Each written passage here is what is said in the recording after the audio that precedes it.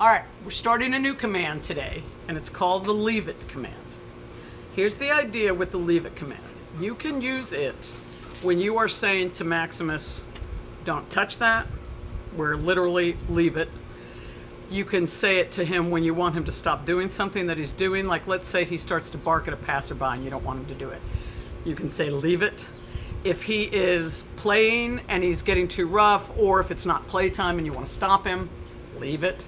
So leave it becomes an umbrella multi-purpose command, one of the best ones you can have, that tells Maximus don't even think about doing something or stop doing something, either or.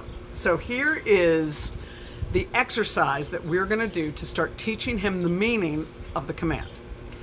In my right hand, I have a really high value treat. This is uh, duck and yogurt, and he loves it. So the important thing here is that this treat, the target, has to be something he really likes, and it has to be something that you can get a good firm hold on. So you can see I got it pinched in my thumb. In my other hand, I have little bits of the treats. These are going to be the rewards. So the target and the rewards.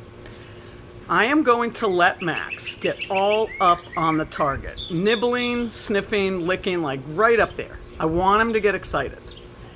I'm going to have the treats behind my back. I'm going to just keep repeating the command. Leave it, leave it, leave it. What I'm doing is starting to condition his brain. I'm not expecting him to um, to comply with the command. But the second that he moves away, whether it's because he gets distracted or he needs to take a break or whatever it is, the instant that he moves away for just a, a fraction of an inch, treat comes out and I say yes, and I give him a treat.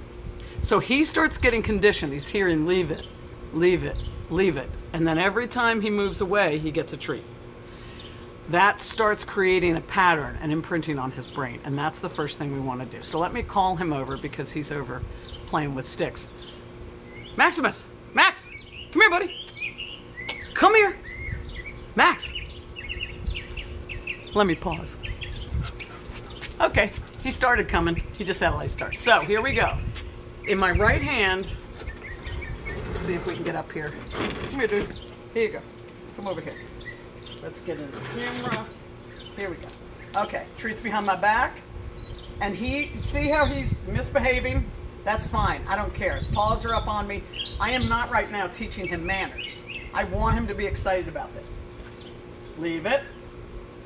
Leave it. Yes. So his nose went away for just a hot second. Leave it. Leave it. Yes. Yes, Max. Leave it. Leave it. Leave it. Yes! Good boy! Leave it. Good boy! So he's already starting to realize that if he pulls his head away, he gets a treat. Come over here where we can see it better. Ready? Max, leave it. Leave it. Yes! Good boy. Oh, he's smart. Leave it.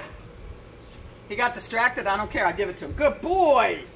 Good boy. All right, so I'm going to look at this and see if it's close enough, and I might send a second recording um, to get you a better close-up.